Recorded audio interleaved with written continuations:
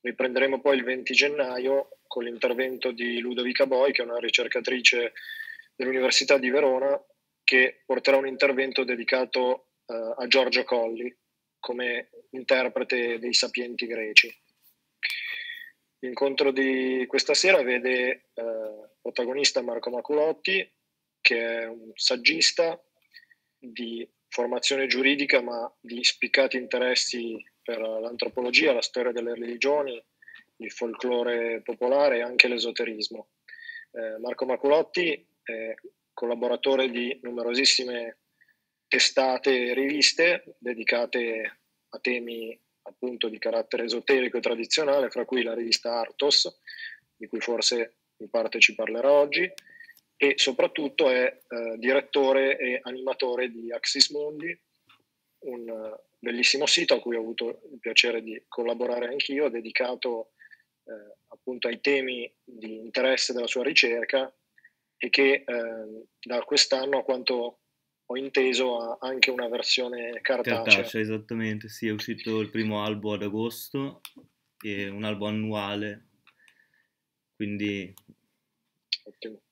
quindi dateci un'occhiata. Eh, l'intervento di questa sera è intitolato Gli inframondi di Dante e la tradizione indo-buddista. Si tratta di eh, una ricerca che Marco sta conducendo proprio per la rivista Artos, dedicata attraverso un metodo comparatistico all'indagine di eh, alcuni elementi di eh, parallelismo, di analogia tra la concezione dantesca dell'aldilà, credo in particolare dell'inferno, e eh, alcune prospettive della tradizione orientale, in particolare indo-buddista e sciamanica, sul tema appunto dell'aldilà. Io lascio subito la parola eh, a Marco che ci condurrà all'interno di questa interessante ricerca. Eh, mi scuso perché dovrò assentarmi eh, fra poco per una mezz'oretta, ma poi tornerò collegato e vi invito insomma, a seguire la relazione, poi ci sarà come sempre spazio per delle domande. Quindi grazie e a te la parola Marco. Grazie Luca, grazie dell'invito, della presentazione e grazie anche a voi tutti che seguite stasera questa, questa conferenza appunto sull'argomento che ha già brevemente introdotto Luca. Eh, dico subito che l'ipotesi di lavoro da cui parto mh, non si basa sul fatto che Dante si sia ispirato coscienziosamente, diciamo così, a delle tradizioni induiste o buddiste o sciamaniche, che ovviamente sarebbe assurdo da pensare. Eh, l'ipotesi di lavoro da cui parto è che appunto mh, la tradizione a cui si rifà Dante nella sua concezione dei mondi sottili eh, che l'anima raggiunge post mortem sia una tradizione come eh, varie tradizioni di cui si parla quando si trattano questi temi che riguarda il cosiddetto filone della Sofia perennis, cioè un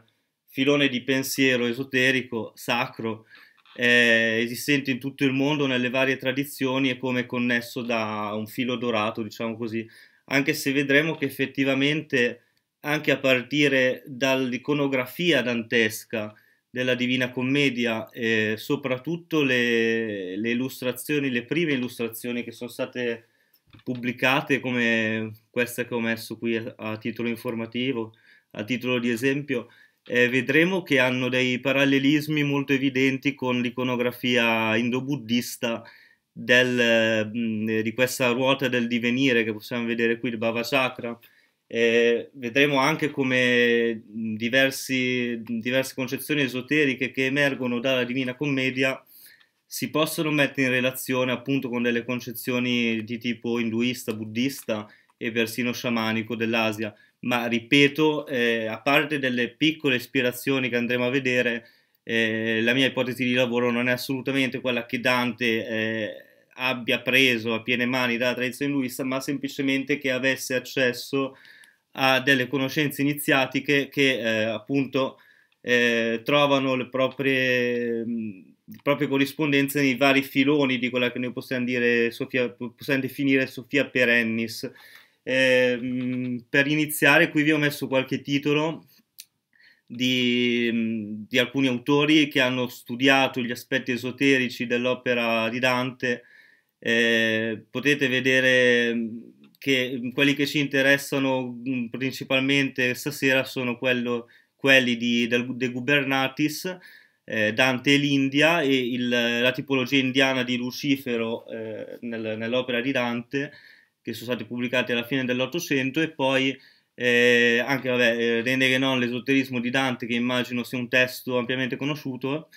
eh, e poi c'è da sottolineare come anche mh, degli autori indiani come eh, Sri Aurobindo e Tagore eh, abbiano inquadrato l'opera di Dante, soprattutto la Divina Commedia, eh, da un punto di vista, mh, per così dire, orientale, l'hanno definito mh, eh, tantrico e l'hanno definito come un rishi. Eh, il rishi nella tradizione induista è quel sapiente che, grazie alle sue conoscenze iniziatiche, esoteriche, eh, riesce poi a traslarle nelle sue opere poetiche eh, e riesce a, a raggiungere appunto ehm, l'intimità dell'ascoltatore, del lettore eh, e, e, risveglia nel lettore o nell'ascoltatore queste conoscenze esoteriche.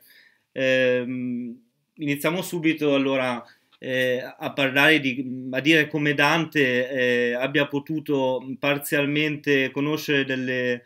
tradizioni iniziatiche di tipo orientale, di tipo induista più che altro. Eh,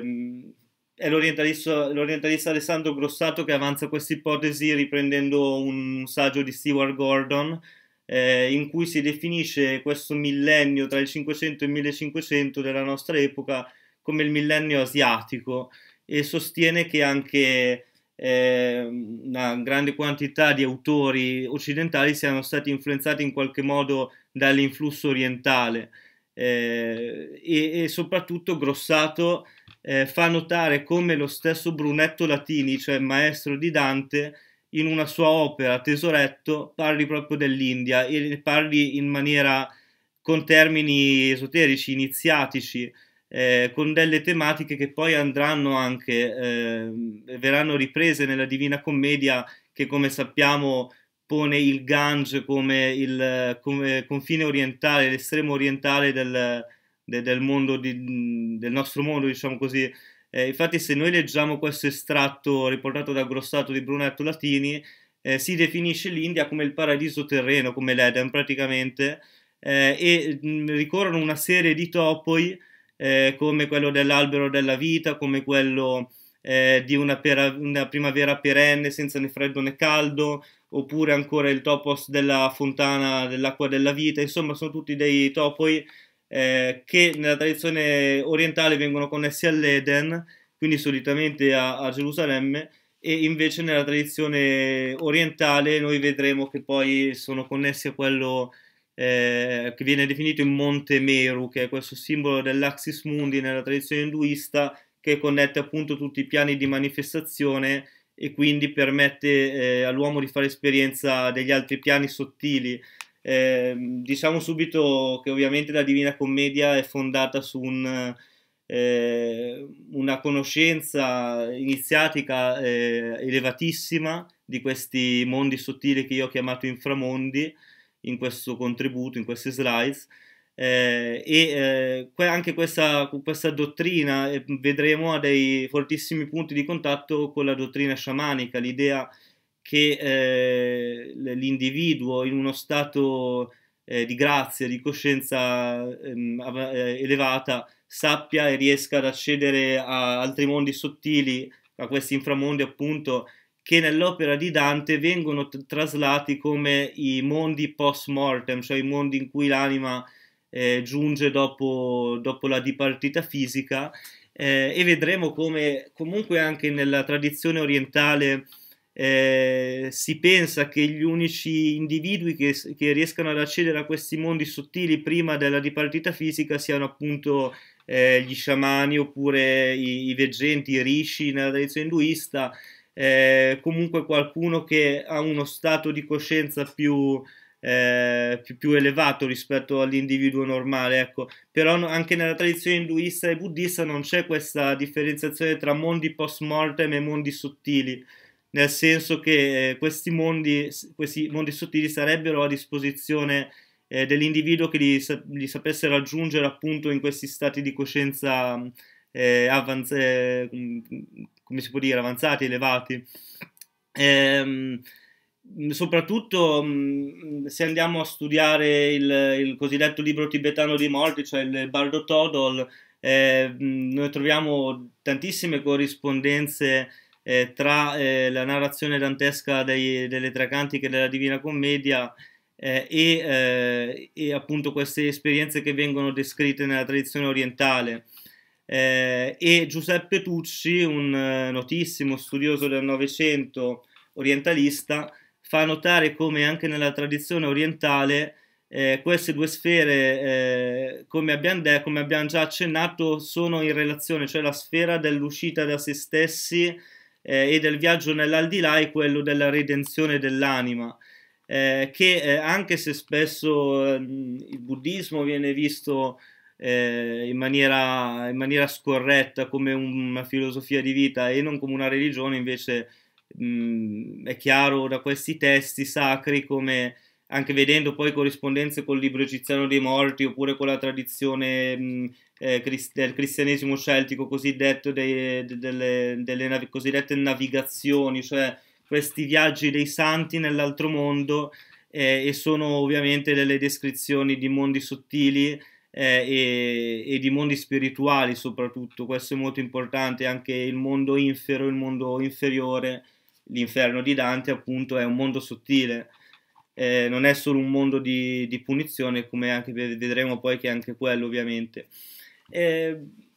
io ho scelto di partire questa discussione eh, da una correlazione evidente, cioè che gli, i tre inframondi danteschi, l'inferno, il purgatorio e paradiso, si possono innanzitutto mettere in relazione con i tre guna della tradizione induista. I guna sono gli elementi sottili e onnicomprensivi che influiscono senza posa sulla manifestazione cosmica, creando e influenzando il karma di tutti gli esseri e quindi eh, facendo in modo che questi esseri non ancora illuminati si reincarnino continuamente nel, nel circolo appunto samsarico di mh, morte e rinascita. Eh, questi tre guna della tradizione induista vedremo eh, che si possono mh, pa- mh, correlare perfettamente ai tre inframondi danteschi, in quanto Sattva, che è il guna più, eh, più elevato, diciamo così, che è collegato al colore bianco, eh, è sempre connesso a questo, questa caratteristica di purezza, di conoscenza, di luminosità, di distacco anche dalle passioni, oltre che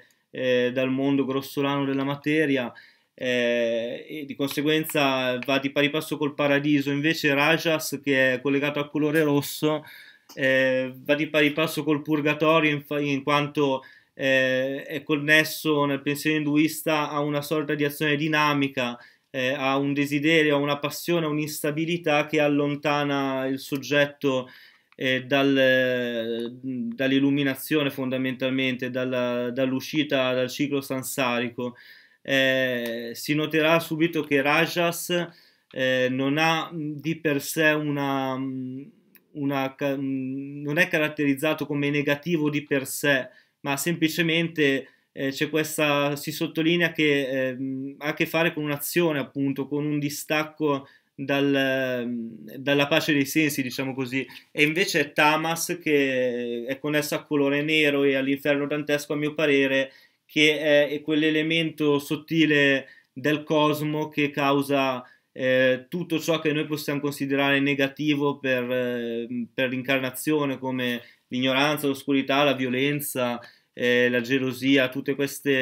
ehm, questi sentimenti che, che, sono proprio negativi in sé, non semplicemente perché allontanano dalla, dal nirvana oppure dalla, dalla pace dei sensi. Ehm, qua ho, messo due, due, estratti, due frasi della Bhagavad Gita eh, in cui si dice Sattva, Rajas e Tamas, tali sono le qualità uscite dalla natura naturante, sono esse che incatenano al corpo attraverso di esse viene imprigionata saldamente al corpo l'immutabile incorporato. E l'altra citazione, sempre dallo stesso capitolo, dice avendo superato le tre qualità che producono il corpo, l'incorporato liberato dalla nascita, dalla morte, dalla vecchiaia e dal dolore, accede all'immortale. L'idea dunque che c'è eh, nella tradizione induista eh, che si lega queste, alla dottrina dei tre guna è che eh, l'individuo debba superare questi tre guna, persino quello superiore che è sattva, deve essere superato eh, e eh, ovviamente mh, si supera prima gli elementi più, ma, più, grossolani, quelli di Tamas, poi quelli di Rajas e poi infine si superano, eh, si deve superare anche, anche Laguna Sattva per accedere appunto al Nirvana. Eh, è importante sottolineare che Sattva non è il Nirvana, Sattva è quel guna che conduce l'individuo verso il nirvana, però deve essere superato anch'esso per accedere poi eh, al nirvana vero e proprio. Eh, in questo senso noi possiamo connettere eh, questo, questa dottrina al, um, al, al, viaggio di Dante attraverso i tre mondi, cioè prima supera il mondo infero, eh, poi supera il, il purgatorio con, salendo appunto la montagna che poi vedremo è connessa anche questa dal simbolismo orientale e poi infine supera i, i cieli, i sette cieli planetari, il cielo delle stelle fisse eh, e, e, poi per infine accedere al, al, cielo superiore che appunto sarebbe questo il nirvana, quello eh, del primo mobile fondamentalmente. Eh, a livello iconografico mh, ho già accennato che mh, già le prime illustrazioni mh, che eh, volevano illustrare appunto la Divina Commedia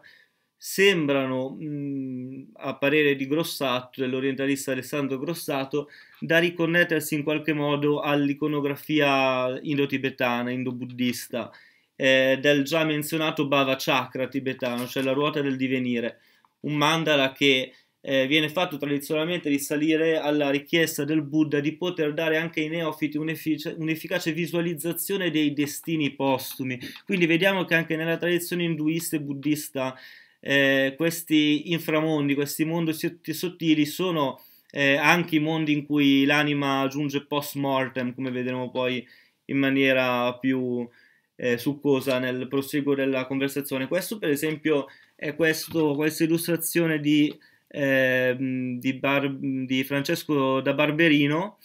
che è uscita proprio nei, negli anni immediatamente successivi alla, alla prima pubblicazione della Divina Commedia e vediamo, è questa qui a sinistra ovviamente, vediamo che eh, già la spazialità di questa illustrazione sembra richiamare tantissimo eh, il, il, centro, il mozzo della ruota del divenire del Bhava Chakra, di questo importante mandala eh, indo-buddista che si rifà appunto a queste dottrine. Eh, vediamo che nel, nell'illustrazione di Francesco da Barberino i, le anime dei disincarnati sono divise in due cerchi concentrici eh, e vediamo che ha, come, come, anche appunto nel, nell'iconografia buddista e eh, in entrambe le iconografie vediamo che a sinistra ci sono delle anime che ascendono alla perfezione divina e, e di contro alla, a destra ci sono delle, delle, anime che cadono nei mondi inferi praticamente. Eh, potete giudicare voi stessi quanto eh, la, la corrispondenza sia assolutamente eh, evidente a mio parere. Al centro invece eh, del, dell'illustrazione di, di, Francesco da Barberino abbiamo questo fuoco infernale oppure questa bocca di un mostro infernale, non si capisce bene, che appunto risucchia queste, queste anime destinate alla dannazione. E invece al centro del, del Bhava Chakra, cioè della ruota del divenire indo-tibetana, vediamo questi tre animali e anche questo è una caratteristica che trova il suo corrispettivo in Dante. Mm, qualcuno ci sarà già arrivato, probabilmente. Eh, si tratta ovviamente delle tre fiere dantesche che eh, vengono menzionate nel primo capitolo, nel primo canto, scusate, del, mm, dell'inferno. Eh, ma andiamo prima a leggere questa, mm, questa, citazione di Grossato appunto su questo, questa illustrazione di Francesco da Barberino. Un disco di colore nero fa un tempo da sfondo e da cornice all'intera scena, che è animata da due cerchi concentrici di figure umane, connotate da un evidente movimento rotatorio attorno a una figura centrale, piuttosto confusa, che sembra raffigurare l'ingresso fiammeggiante dell'inferno più semplicemente la bocca di una creatura infernale. L'accentuata nudità di queste figure, assieme ad altri dettagli, in particolare al movimento circolare delle anime, che da una parte salgono verso l'alto redimendosi, mentre dall'altra scendono verso il basso dannandosi, all'occhio di un orientalista non può non ricordare quei due cerchi concentrici di anime dipinte su uno sfondo metà bianco e metà nero che viene tradizionalmente posto al centro della complessa struttura grafica del Bhava Chakra, la ruota del divenire. E invece per quanto riguarda appunto le, le tre fiere dantesche e questi tre animali della tradizione indo-buddista che vengono denominati i tre veleni, eh, noi vediamo che c'è una correlazione evidente perché eh, i tre veleni, cioè i tre animali simbolici che appaiono nel centro, nel mozzo di questa ruota, eh, hanno una precisa valenza allegorica, cioè il maiale o il cinghiale rappresenta l'ignoranza, il serpente la rabbia e il risentimento, infine il gallo o il colombo l'attaccamento alle cose materiali e al desiderio. E sotto l'influenza di questi tre veleni, eh, gli, gli, esseri umani come intossicati generano karma e continuano a reincarnarsi nel ciclo di, de, delle reincarnazioni. Eh, è evidente il parallelismo con lupo, eh, leone e lonza, tre, le tre fiere della, che impediscono a Dante, persona della selva oscura, di raggiungere il colle illuminato dal sole. Quindi vediamo che simbolicamente in entrambi i casi questi tre animali impediscono eh, l'individuo, il, il, narratore, di raggiungere l'illuminazione fondamentalmente. Eh, e, e, come abbiamo già visto nel caso indo-buddista, rappresentano anche nel, nell'opera di Dante tre disposizioni peccaminose ben definite, cioè l'avarizia, la superbia e la lussuria, ovvero come dice Dante, le tre faville che, hanno, che ci hanno acceso i cuori, hanno i cuori accesi, cioè eh, che impediscono in qualche modo al, all'individuo di superare le sue passioni ed accedere al mondo divino. Ehm, dopo, aver, dopo, aver, fatto una breve introduzione, io penso che già abbiamo, siamo stati fin troppo tempo su questa introduzione, siamo già più di 20 minuti. Io passerei alla struttura vera e propria di questi inframondi nella tradizione indo-buddista e poi vedremo ovviamente, eh, vi, vi, già vi faccio vedere brevemente, poi ritorniamo su questa immagine. Comunque il, i mondi sottili, il cosmo, la geografia sacra della Divina Commedia, se noi già la vediamo anche in queste forme illustrative, ricordano tantissimo la, la concezione grafica proprio del, dei mondi sottili dell'induismo che come vediamo mh, il settimo mondo qua è il nostro, quello del, degli, in cui vivono gli uomini, ci sono sette mondi, ci sono eh, i mondi superiori, qua non so perché sono sei ma in realtà sono sette, e poi i mondi eh, inferiori, inferi sotterranei che sono anche questi sette e sono chiamati Patala nella tradizione induista oppure Naraka nella eh, tradizione connessa al Yamaloka, che è un modo di definire il mondo sottile in cui l'anima giunge dopo la morte. Eh, vediamo dunque eh, che il mondo, mh, il mondo in, cui vi- in, cui viviamo, il mondo di tutti i giorni, sta a metà tra questi mondi sottili, cioè sette mondi superiori, sette mondi inferiori, anche se nell'iconografia dantesca i sette mondi inferiori, come possiamo vedere, non, eh, non sono rappresentati nel cosmo, diciamo così, al di fuori del piano terrestre, ma in un piano in qualche modo sotterraneo, so, nella terra sotterranea. È semplicemente una differenza iconografica che però non infissa la corrispondenza sottile di questi mondi sottili eh, superiori e inferiori. Eh, abbiamo già menzionato anche il Monte Meru, cioè che nella tradizione induista è connesso al Devaloka, cioè ai mondi superiori eh, a cui l'anima accede se ha dei meriti, eh, ha dei meriti molto elevati, diciamo. Eh, però nel, nell'opera di Dante la montagna non è connessa al, al paradiso, come sappiamo, ma al purgatorio. Eh, non che cambi tanto in realtà il, il simbolismo, perché anche qui, eh, come possiamo vedere in questa illustrazione mh, della, della, montagna del Purgatorio, eh, vediamo che è molto simile al Monte Meru nella tradizione induista, eh, che è appunto suddiviso in vari piani, eh, a cui si, si sale sempre di più per raggiungere appunto la cima che, che sarebbe il Devaloka, cioè il, il, mondo sottile in cui dimorano gli dei e le anime eh, meritevoli insomma di, di, stare con loro.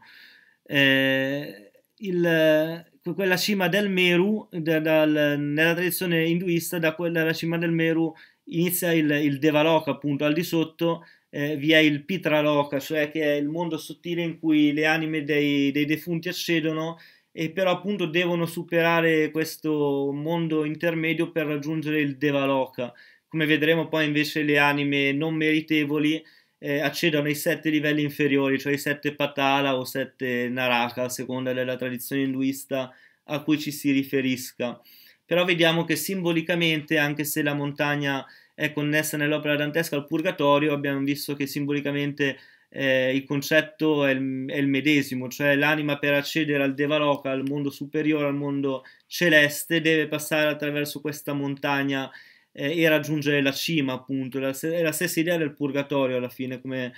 come possiamo vedere. E inoltre, se andiamo con la mente eh, al tredicesimo canto del Paradiso,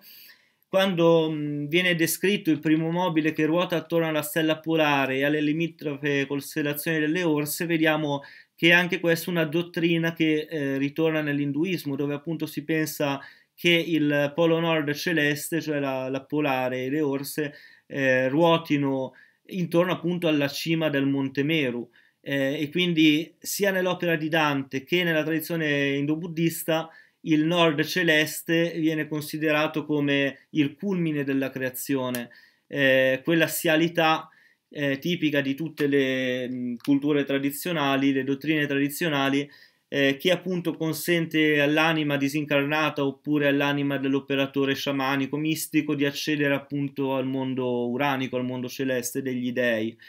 Eh, il nord quindi come centro, come centro assiale, che è una tradizione tra l'altro che ritorna in tutte le culture sciamaniche del, dell'Asia centrale, dell'Asia settentrionale e dell'Eurasia,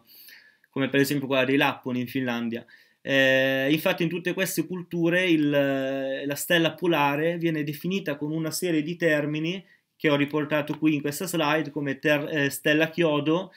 chiodo del cielo, pilastro del mondo, pilastro solare, pilastro d'oro, pilastro di ferro. L'idea eh, che, che, sta dietro a questa dottrina, che appunto noi vediamo ritornare sia nell'induismo che nello sciamanesimo che nel buddismo, che persino in Dante, è quella che appunto il nord celeste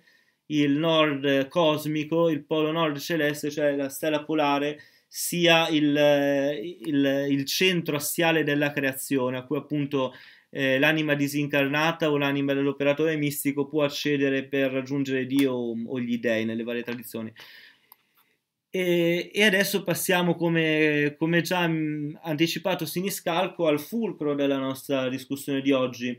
che si basa più sull'inferno in realtà che sugli altri mondi, anche se cercheremo di, ovviamente di vedere anche i destini del, dell'anima nella dottrina dello Yamaloka anche per i mondi superiori, cioè eh, appunto il Devaloka che abbiamo già anticipato, il Pitraloka.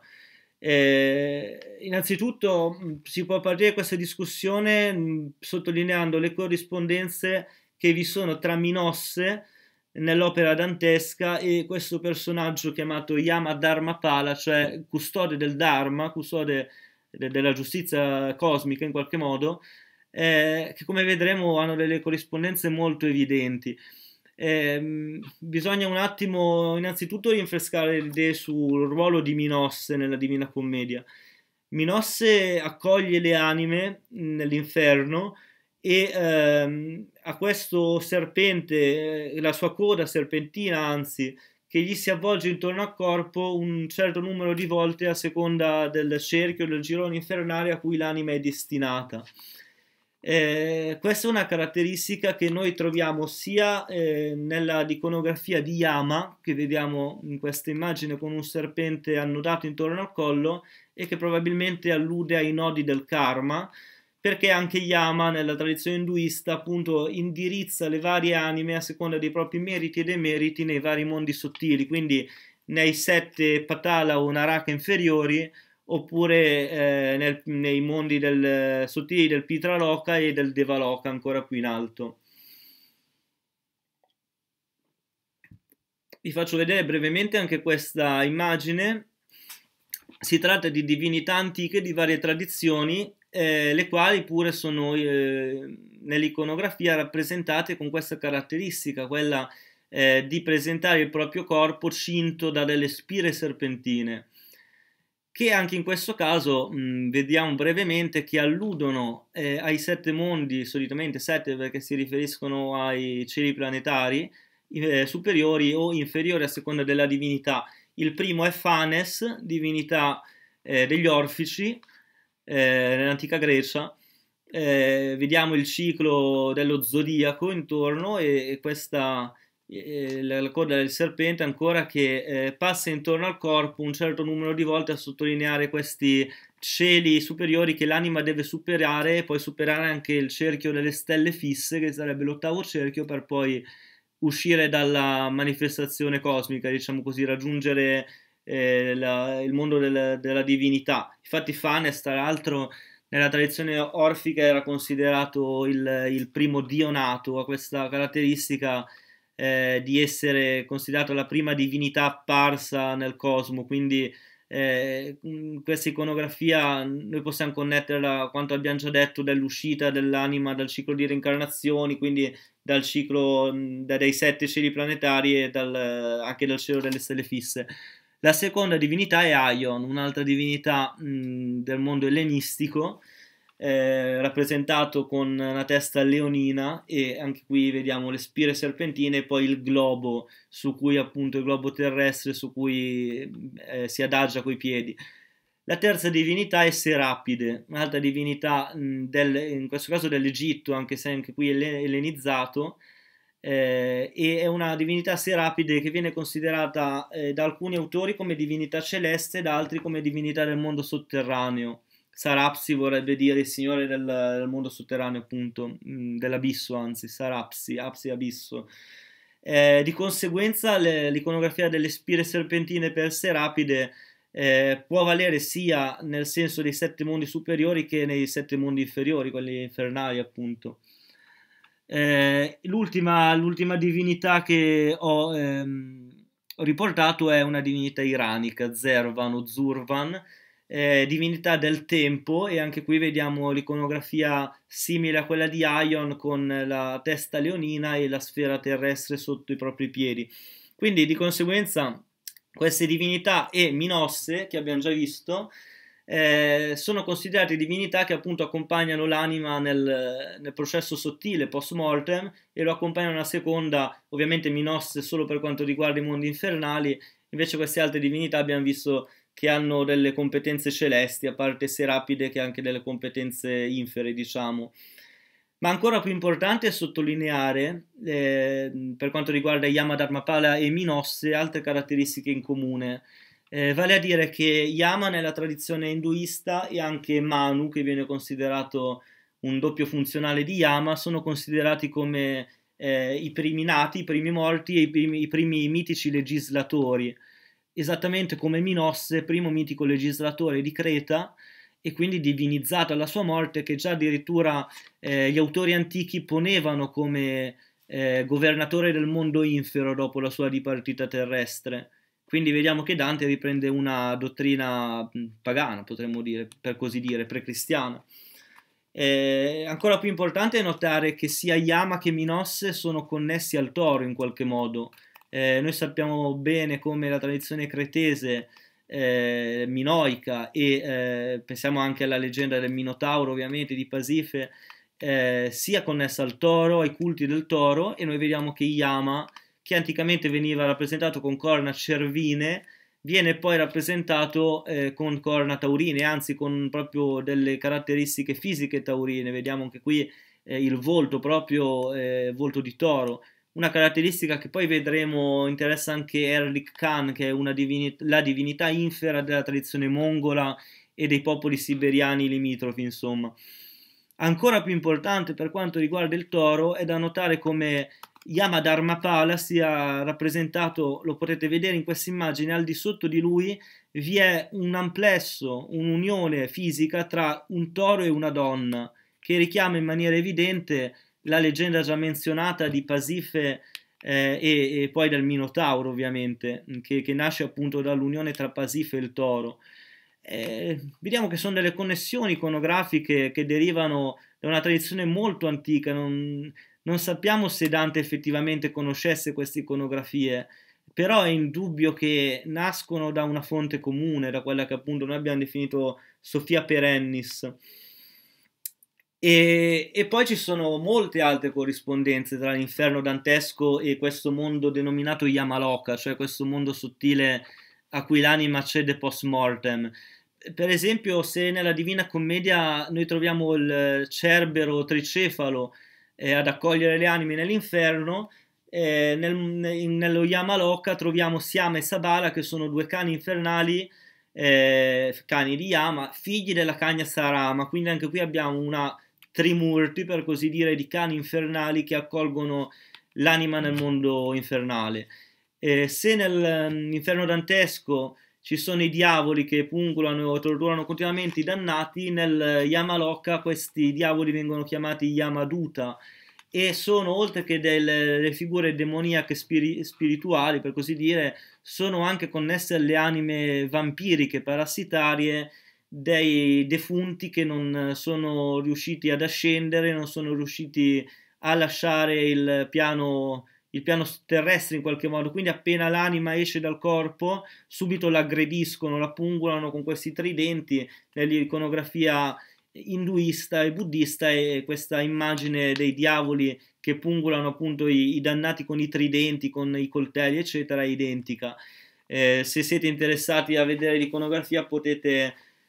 potete vedere, mm, eccolo qua, ho messo le torture subite nei 7 o 28 a seconda delle fonti mondi sottili infernali. Qua vedete nell'immagine a sinistra c'è in mezzo Yama che giudica eh, l'anima, appunto vedete che tra l'altro c'è anche un altro, un aiutante di, di Yama con questa bilancia che pesa appunto i meriti e i demeriti e, e, poi vedete nelle varie immagini come i, i, i, dannati siano torturati da questi aiutanti di Yama in tutti i vari mondi sottili infernali. Ritorniamo ancora un attimo a queste corrispondenze solo per accennare al Vaitarani che è questo fiume eh, infuocato che circonda il, il Yamaloka, lo Yamaloka, che è identico all'Acheronte, che l'anima deve superare per accedere al mondo sottile, allo Yamaloka, e anche qui vi è una sorta di Caronte indiano, di cui non sono riuscito purtroppo a trovare il nome perché gli studiosi che Yoshito lo definiscono semplicemente un Caronte indiano, che appunto come il Caronte dantesco eh, aiuta le anime a superare questo Vaitarani, eh, portandoli appunto sull'alta sponda da dove poi inizierà il viaggio vero e proprio verso la città di Yama. Anche qui adesso non vorrei soffermarmi troppo, però dico brevemente che anche qui si parla di un obolo che l'anima deve lasciare a questo Caronte indiano per superare il fiume infernale. Quindi vediamo che ci sono una serie di topoi che ritornano sia nella tradizione indo-buddista che in quella dantesca ed è, è, impossibile dimostrare che Dante effettivamente conoscesse queste tradizioni, però è curioso vedere come vadano di pari passo proprio. Io qua ho fatto anche ho provato anche a fare un ragionamento su Carun, sul Caronte etrusco, anche se non è proprio della tradizione orientale, però come ben saprete qua ci sono su questa, sul fatto degli etruschi, della provenienza degli etruschi, ci sono varie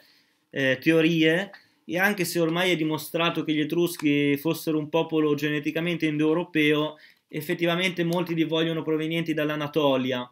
eh, e poi si rifanno appunto citando eh, la, il fatto del, della razza chianina che è stata portata dagli Etruschi dall'Anatolia, questo è, è sicuro ormai. E quindi eh, ho ragionato un attimo su questa cosa eh, e l'ho connessa poi a una tradizione che vedremo dopo, che è quella appunto del già menzionato Erlik Khan, che è il dio infero delle steppe, eh, della tradizione mongola e siberiana, e noi dobbiamo ricordare, quando parliamo di mongoli, che i, quelli che noi chiamiamo mongoli, eh, in realtà sarebbe più corretto chiamare turco-mongoli, perché anticamente arrivano anche loro dall'Anatolia, anche se sono ovviamente diversissimi da quelli che noi oggi chiamiamo turchi, però venivano dall'Anatolia ed è interessante vedere, poi lo vedremo, come questo Carun etrusco più che a Caronte sia simile appunto a questo Erlik Khan. Ehm, adesso vabbè, ve lo faccio vedere brevemente, poi lo riprenderemo dopo il discorso perché è più lungo e si ricollega anche a Lucifero. Comunque Carun nella tradizione etrusca viene descritto come questo demone dall'aspetto mostruoso, alato, munito di zanne, dal naso dunque orecchio d'asino, serpenti ancora una volta torcigliate attorno alle braccia, carnagione bluastra e pallida, come quella dei morti. Noi ricordiamo Yama anche qui, con la carnagione bluastra, e, eh, e poi Rick Khan, che poi riprenderemo dopo, è questo in basso a destra. È difficile trovare delle illustrazioni di Rick Khan perché si tratta di tradizioni delle steppe eh, per cui non esistono neanche dei testi scritti che vengono riportati, insomma, quindi è molto difficile trovare un'iconografia, però è molto simile, noi possiamo vedere a quella del Carun etrusco. Quindi la possibilità che anche questo personaggio sia stato ispirato da eh, un personaggio appunto orientale non è secondo me così peregrina. Ma eh, allarghiamo un attimo il discorso e eh, parliamo delle corrispondenze tra i cerchi infernali e i sette Naraka o Patala che dir si voglia dello Yamaloka. Eh, infatti sia eh, nella tradizione indu- induista che nella, nell'opera dantesca questi livelli infernali sono descritti come concentrici, quasi come se eh, il precedente contenesse l'inferiore e così via. Quindi eh, ci sono piani che si sovrappongono e ogni piano eh, inferiore è in qualche modo eh, compresso, compreso in quello superiore. E eh, anche nel, nello Yamaloka i sette Naraka, che secondo altre fonti sono 28, come nel Garuda Purana, eh, in realtà sarebbero delle sottodivisioni dei sette Naraka principali, come appunto i cerchi e gironi danteschi, eh, vediamo che appunto ogni ambiente, ogni inferno dis- eh, è distinto da quello precedente o successivo da determinate caratteristiche opposte. In uno fa freddissimo, in uno eh, vi è un fuoco che arde continuamente, le anime sub- subiscono vari tipi di punizione. Eh, vengono torturate dai demoni nelle maniere più disparate. Comunque, senza soffermarci troppo, vediamo che le corrispondenze tra i cerchi e gironi infernali danteschi e quelli induisti sono molto simili. Questo l'abbiamo già mostrato brevemente. E eh, tuttavia le corrispondenze non si fermano a solo livello infernale o infero, perché come abbiamo detto l'anima può anche accedere dopo la morte ovviamente a dei mondi meno tragici, diciamo così, che appunto sarebbero quelli che eh, si possono far corrispondere al purgatorio e al paradiso dantesco. Eh, infatti nella tradizione induista si dice che i pitra, cioè le anime eh, de- dei defunti, eh, che si chiamano anche in altri modi di solito come Jiva, come, eh, come Petra anche si chiamano, però qua vengono menzionati Pitra, in realtà Pitra è più l'anima del disincarnato che ha raggiunto il mondo degli antenati, quindi c'è già un passaggio. E eh, questi Pitra possono essere condannati al, ai mondi inferiori, ai Naraka e quindi eh, subiscono torture e dannazioni oppure possono godere insieme di piaceri e soffrire torture, in questo caso è il mondo che appunto vedremo da connettersi al purgatorio e poi c'è una terza categoria di anime che invece eh, giungono nei cieli più alti e convivono con gli dei, come abbiamo detto nel Devaloka, cioè raggiungendo la cima del Monte Meru, superando anche il Pitraloka. Eh, questo Pitraloka sarebbe appunto il purgatorio, quindi eh, Yamaloka e Pitraloka eh, coincidono nel momento in cui l'anima non è dannata ai sette mondi inferi, ai sette Naraka o Patala, che dir si voglia. In questo caso eh, l'anima accede al mondo sottile, al mondo post-mortem, e la città di Yama gli appare invece non gli appare tenebrosa come nel caso precedente, ma gli appare splendida, lietata dai canti e dai suoni di Gandharva e Apsaras, cioè entità sottili maschili e femminili rispettivamente. E quindi la, la, città, essendo, pur essendo la stessa città a cui giunge l'anima dannata, appare in maniera totalmente diversa all'anima. Eh, appare come la città del re di giustizia, quindi Yama non ha più un aspetto terrifico, eh, ma invece appare con un aspetto benevolo, eh, ingioiellato, sorridente eh, e dopo aver pesato appunto meriti e demeriti del, dell'anima, eh, viene, l'anima viene accompagnata da questi otto Sravana che sono delle specie di angeli che anche in questo caso ricordano molto gli angeli che accompagnano Dante eh, nella Cantica del Paradiso. E, e, e, appunto eh, queste anime vengono portate ai rispettivi mondi che possono essere i mondi del Pitraloka che appunto sono quelli del purgatorio, per così dire, oppure del Devaloka, cioè del paradiso.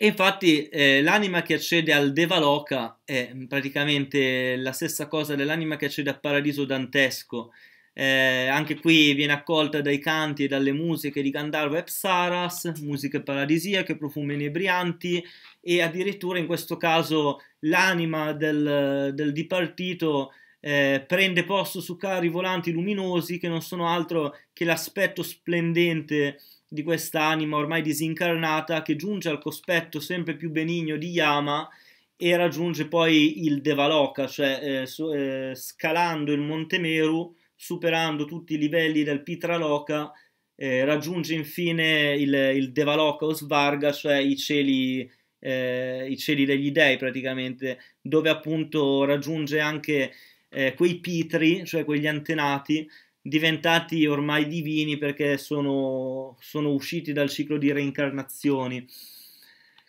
Eh, brevemente eh, possiamo anche mh, parlare di alcune corrispondenze con la tradizione sciamanica vera e propria. Sciamanica, come abbiamo già anticipato, intendo sia quella asiatica, eh, quindi siberiana, mongola, sia quella eurasiatica, cioè eh, la tradizione lappone della Finlandia eh, oppure del, del, dell'Eurasia fondamentalmente, Kirghizistan, Kazakistan, in tutta questa fascia che va dal, dalla, eh, grosso modo dall'Ungheria, dalla Finlandia, dove vivono i, eh, le popolazioni finniche, fino al, alla Siberia, all'estremità orientale della Siberia, hanno tutte delle concezioni del mondo sottile, della geografia sacra del cosmo, a cui appunto lo sciamano può accedere in stato, eh, in stato appunto di contemplazione sciamanica. Eh, per esempio la montagna sacra con sette o nove pioli da scalare, che è come eh, trova un corrispettivo nella montagna del Purgatorio e nei cieli, nove cieli di cui sette planetari in cui, eh, che, che l'anima, che Dante mh, eh, supera per arrivare appunto al cielo più elevato. Di contro, anche i mondi inferi sono divisi in 7 o 9 livelli concentrici, anche in questo caso, che ricordano molto i gironi infernali di Dante. Eh, ma ancora più importante è che nella tradizione sciamanica si parla di un tunnel, eh, un tunnel attraverso cui eh, lo sciamano può raggiungere i vari mondi e anzi può passare da un mondo all'altro, quindi può passare dall'inferno al cielo e viceversa attraverso questo tunnel che passa attraverso l'albero cosmico, eh, la scala cosmica, tutti questi simboli assiali che poi si possono connettere anche alla montagna. Per esempio, in alcune tradizioni questo tunnel passerebbe dalla cima della montagna sacra eh, al, all'inferno fondamentalmente eh, ed è identico a quello che nella Divina Commedia viene definito il natural budello di Lucifero, che è un simbolo assolutamente eh, strano, no? nella tradizione occidentale non esiste nulla di simile, tramite cui Dante e Virgilio alla fine dell'inferno escono, mh, tramite questo tunnel strano, escono sul, sulla spiaggia eh, de, dove c'è la montagna del purgatorio, no? quindi anche qui il simbolismo è molto simile, anche se evidentemente è molto difficile che Dante conoscesse queste dottrine sciamaniche. Eh? E poi infine, visto che stiamo già parlando da un'ora, eh, io direi di concentrarsi su questo ultimo tema che io ho voluto portare, cioè la vicinanza del già menzionato Erlik Khan, divinità infera delle popolazioni sciamaniche del, mh, mongole siberiane, e Lucifero e in qualche senso anche Minosse ancora. Eh, c'è da sottolineare come Dante questi, nella Divina Commedia, nell'inferno, abbia voluto suddividere eh, le funzioni infernali tra questi due personaggi, tra Lucifero e Minosse. Minosse all'ingresso dell'inferno, Lucifero nel punto più basso invece. Invece nelle tradizioni induiste, buddiste e sciamaniche dell'Asia eh, la divinità infera, eh, o la divinità del, dell'inframondo, che poi appunto prende anche caratteristiche più benevole a seconda dei meriti delle varie anime, sia la medesima, cioè sia, sia la, la, divinità che accoglie le anime nell'altro mondo che quella poi che sta eh, nel punto più basso della manifestazione cosmica, cioè nel nono eh, livello infernale, quello più basso. Infatti Eric Khan viene eh, descritto come questa divinità infera, tenebrosa, Irata che vive al, al, alla fine dell'inferno, al, al, nono cerchio più inferiore, insomma, alla connessione dei nove fiumi infernali, si descrive questa, eh, questa sua dimora fatta di fango e di pietra neri, anche in questo caso è circondata dai demoni, suoi aiutanti, è circondata da cani infernali, insomma i topos sono i medesimi del, dell'inferno dantesco, grosso modo ma è ancora più importante sottolineare come Erlich Khan e Lucifero siano, ehm, si possa individuare questa corrispondenza perché anche Erlik Khan nella tradizione mongola siberiana eh, è originariamente vista come una divinità celeste che in seguito a una pecca primordiale viene precipitata in una dimensione sotterranea e quindi guadagna in questo carattere in un certo senso demoniaco. Mm, adesso, prima di vedere il, velocemente il fatto del pianeta Venere, bisogna sottolineare come questa, eh, queste caratteristiche lo colleghino a Yama, Dharmapala. D'altra parte, nelle tradizioni eh, mongole che hanno, ehm, che hanno, accettato in un certo senso la dottrina buddista e hanno unito sciamanesimo e buddismo, Erlich Khan e Yamadharmapala sono la medesima cosa. Tra l'altro anche Erlich Khan viene eh, nell'iconografia viene rappresentato con corna taurine o corna cervine e, e poi ha una serie di caratteristiche funzionali come il fatto di essere anche qui il primo, il primo, morto, lo scopritore della via meridionale dei defunti, che quindi è inaugurato, gli sciamani neri cosiddetti eh, giungono da lui per apprendere i segreti, per, per, conoscere la via, tutte queste cose si possono connettere sia a Yama che a Minos, appunto nella tradizione eh, occidentali, diciamo. Ma è ancora più importante la correlazione con il pianeta Venere, perché sia Lucifero nella tradizione orient- eh, occidentale eh, che Erlich Khan in quella orientale viene visto anche come il responsabile della caduta da un cielo perfetto, da un cielo primordiale, che in qualche modo l'individuo, mh, lasciando appunto eh, il, il, circolo delle reincarnazioni dovrà poi alla fine raggiungere, o questo almeno è auspicabile per lui. Eh, e quindi sia Lucifero che Erlich Khan sono eh, connessi nella rispettiva tradizione a questa, lo definisce così un noto studioso francese, la rottura del patto che lega gli astri. Eh, questo deragliamento cosmico che sarebbe avvenuto in illo tempore e avrebbe causato la fine dell'età primordiale e avrebbe anche eh, creato un nuovo cielo in qualche modo. Eh, il pianeta Venere quindi eh, viene demonizzato e, e di conseguenza eh, cadendo ce- dal cielo primordiale viene appunto ehm, pensato come una caduta vera e propria nel, negli inferi, nel, nel, mondo inferiore, nel mondo sotterraneo. E poi si può sottolineare anche un'affinità semantica tra Erleccano e Arlecchino, eh, che tra l'altro originariamente sappiamo che era anch'egli un demone governatore del mondo infero, ma anche un demone della, eh, della fecondità, della vita, come tra l'altro anche lo stesso Plutone Ade nella tradizione greca. Eh, e anche sottolineiamo questa connessione semantica con Helig Koneg che nella tradizione tedesca, germanica più che altro,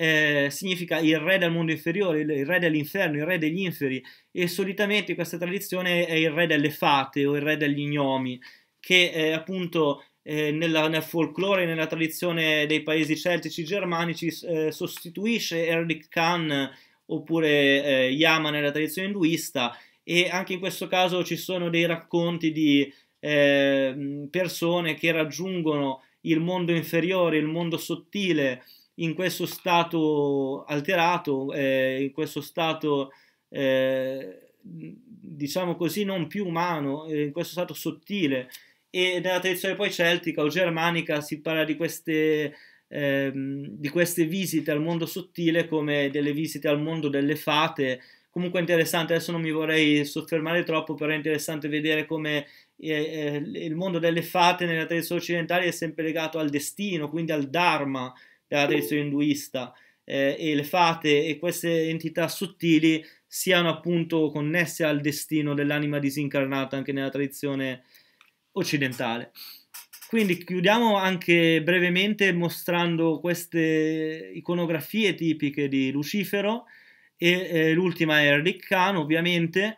Eh, Lucifero, come ha già notato qualcuno, viene mm, descritto da Dante come tricefalo. Qua possiamo vedere eh, così detto per inciso, un'altra connessione con la tradizione orientale, ovviamente le famose divinità a tre volti della tradizione induista. Eh, ma ancora più importante è il fatto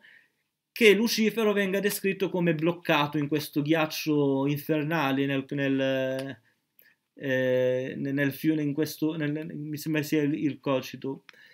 E, e questa caratteristica ce lo riconnette a una divinità occidentale che eh, se noi analizziamo ha le stesse medesime funzioni, cioè Saturno, che anticamente dio dell'età dell'oro, viene infine precipitato sulla Terra,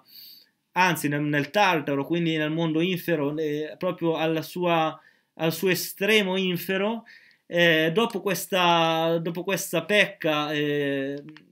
rituale, diciamo così, che in questo caso è la,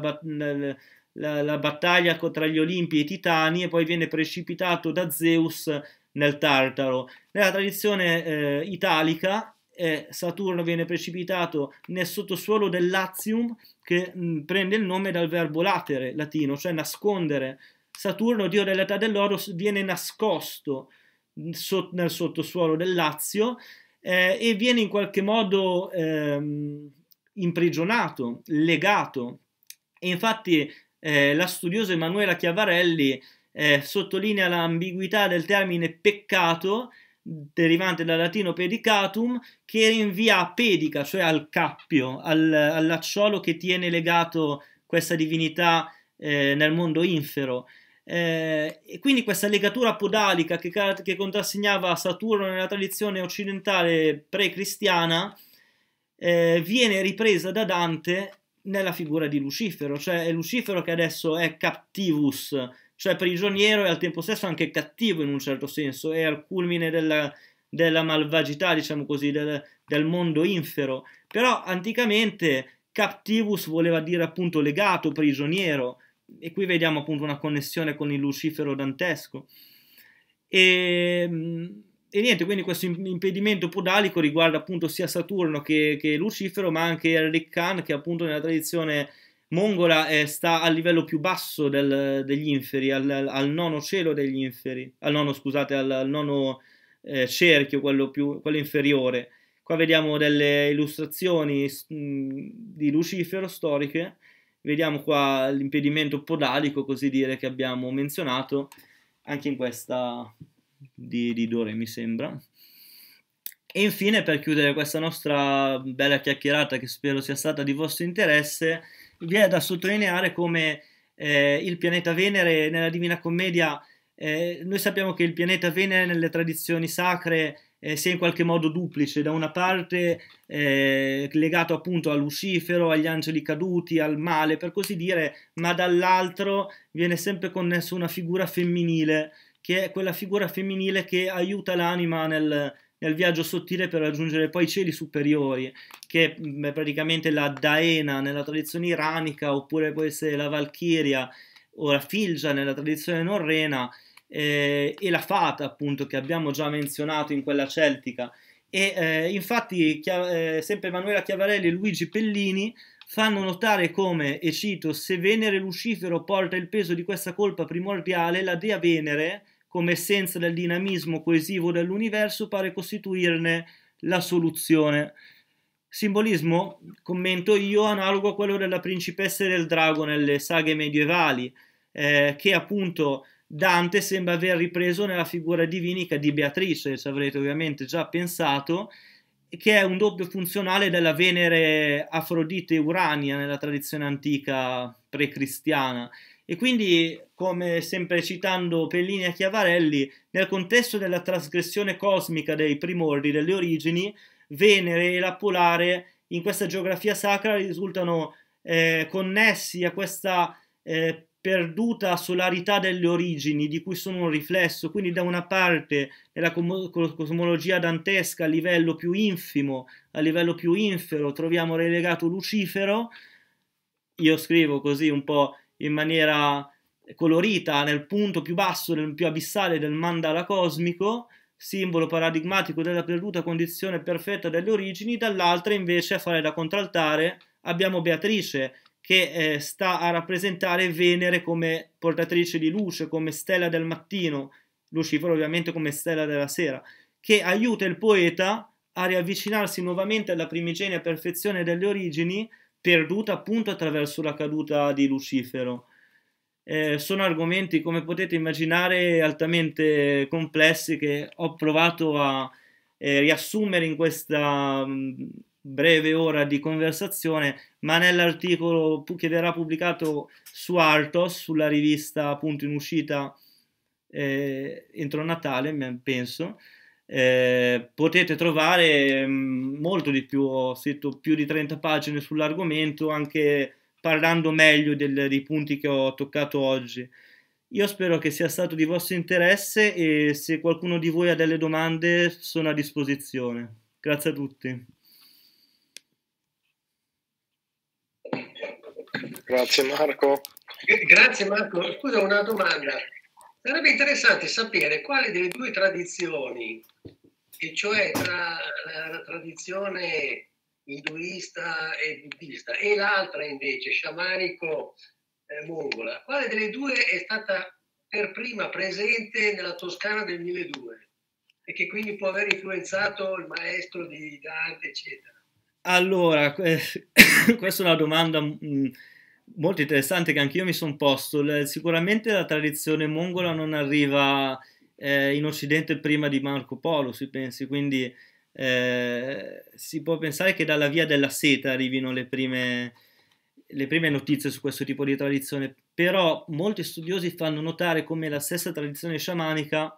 sia stata in realtà influenzata precedentemente sia da una parte dall'induismo e dall'altra dal, dalla dottrina iranica eh, quindi dalla Vesta, eh, che presenta peraltro delle connessioni che io adesso non ho riportato, però comunque anche qui nella Vesta si parla del viaggio nel mondo eh, sottile da parte dello shaman, de, dell'operatore mistico che deve superare questo ponte stretto come un capello, oppure una serie di topoi che poi ritornano nella tradizione sciamanica. Quindi... Ecco, però, scusa, però è vero, infatti molti, tutti sanno che la Vesta è, è quello, si pensava fosse stata l'ispirazione di Dante.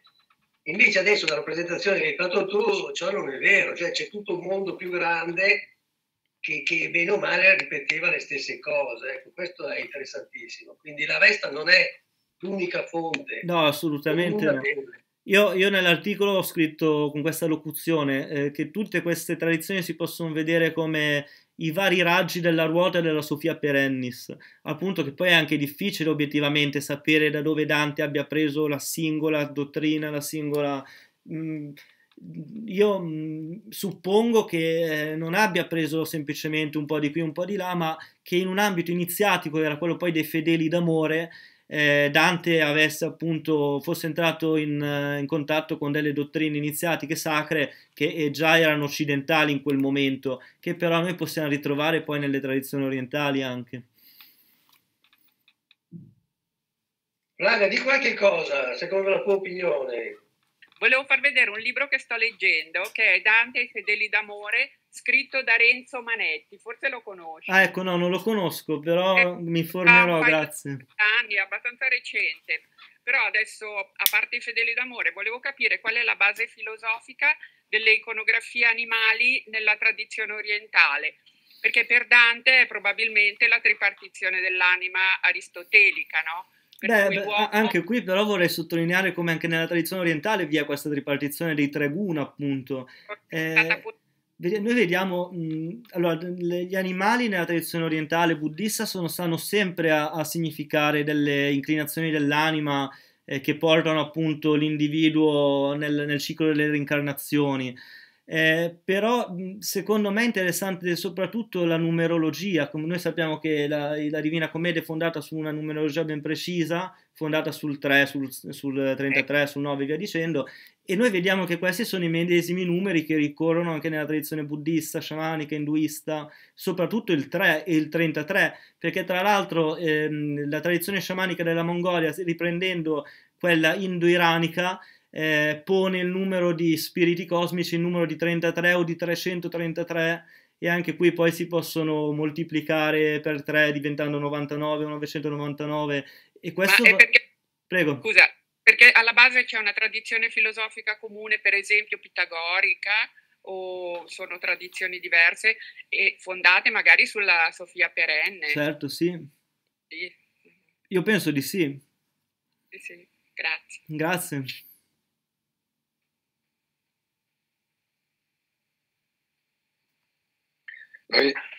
Giusto per, eh, magari può sembrare banale, però per diciamo, um, contestualizzare l'intervento di stasera un po' nelle lezioni che sto facendo anche per chi segue il corso di, di storia dell'esoterismo. Sicuramente l'approccio eh, di questa sera è molto in linea con una eh, diciamo, metodologia che eh, forse sto toccando solo negli ultimi incontri, ma che poi di fatto è un po' quella che adotto anch'io, che riunisce da un lato il comparativismo, che è un metodo storico-religioso che ha avuto fra i suoi massimi interpreti autori come Dumesil mm-hmm. o Eliade e anche in parte lo stesso Culiano, e poi degli stimoli che vengono invece appunto dal mondo del, eh, della Sofia Perennis, del pensiero tradizionale, quindi con i vari eh, Genon, Kumarasvami, Evola che vi ho varie volte citato. Eh, l'interesse di queste analisi, mh, per quanto diciamo, si insinui anche in aspetti più storico-filologici, però non è tanto appunto di solito filologico, ma è piuttosto senza rinunciare alla filologia, perché eh, non bisogna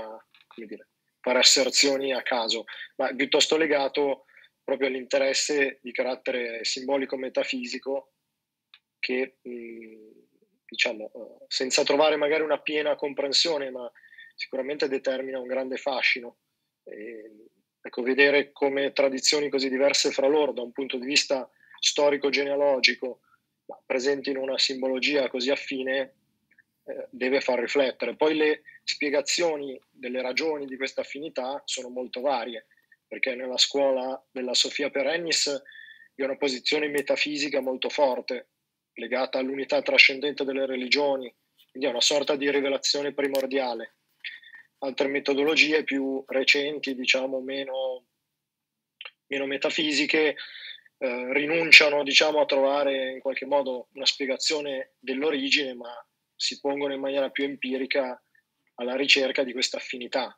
Eh, c'è la grande teoria di Jung dell'inconscio collettivo che poi è stata sviluppata da tanti altri autori che ulteriormente dà un possibile contesto interpretativo, cioè in tutti i popoli, pur nella loro differenza, si manifestano archetipi comuni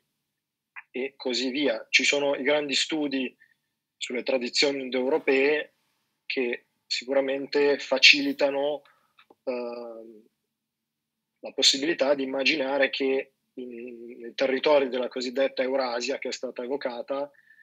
per quanto l'origine di certe conoscenze si perda nell'alba dei tempi, c'è una traccia, forse quasi dire, nascosta nella nostra lingua, nella nostra psiche,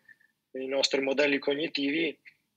che, che porta le grandi tradizioni religiose a, formalizzare in modo simile certi temi. Ma proprio anche nell'iconografia, come ho cercato di dimostrare, adesso ve ne dico un'altra brevemente. Ho già citato il fatto che nello sciamanesimo euroasiatico lo sciamano accede ai mondi superiori, ai sette o nove mondi superiori, a seconda che si tratti solo di quelli planetari oppure anche quelle, se le stelle fisse, eccetera.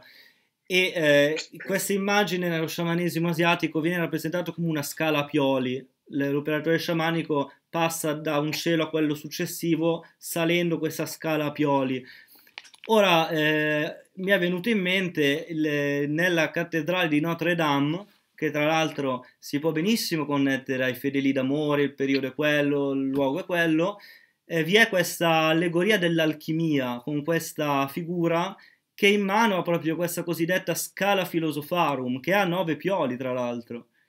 E quindi anche qui vediamo un'iconografia un po' nascosta, volendo, anche nel, nell'architettura cristiana, che però, come io ho pensato e come ho cercato di dimostrare, si può ritrovare in varie aree geografiche, in varie, per varie epoche diverse del, della storia dell'umanità e via dicendo.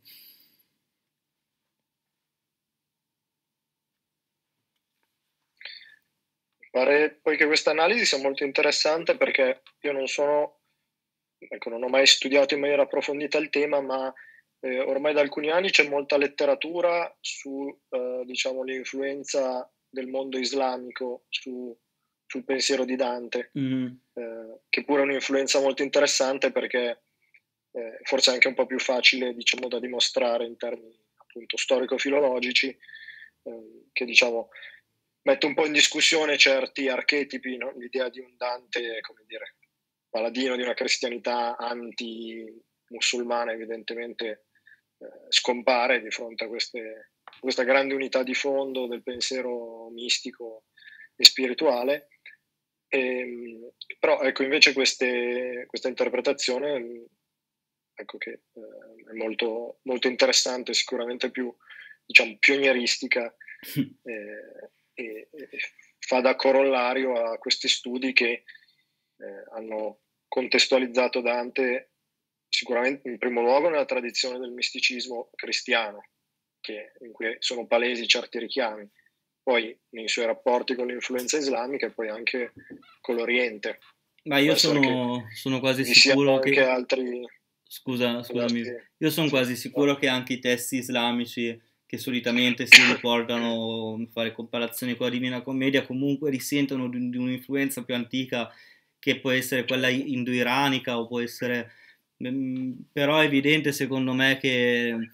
non ha senso separare tra dottrina cristiana, dottrina islamica, dottrina induista quando si parla di questo tipo di esperienze. Tu hai citato bene Ioan Petro Puliano, se noi leggiamo il suo storico libro I viaggi dell'anima, vediamo come tutte queste esperienze mistiche nelle varie tradizioni, dalla Babilonia eh, all'Egitto, all'antica Ellade e via dicendo, fino al cristianesimo, fino all'Islam, noi vediamo che le, le esperienze sono molto simili, hanno tutti gli stessi topoi, eh, i mondi sottili sono tutti descritti in una certa maniera che si richiama, quindi qui l'idea è che ci sia una conoscenza eh, precedente, non lo so, pretertemporale, non, è, è, difficile da definire, però comunque qualcosa che esula eh, dalla mera storia delle religioni intesa come storia dei popoli e delle culture religiose separata l'una dall'altra. Certo. Non so se c'è qualche altra domanda, curiosità.